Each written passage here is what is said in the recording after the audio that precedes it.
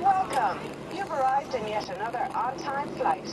Last year, over 90% of Ryanair flights landed on time, beating every other European airline.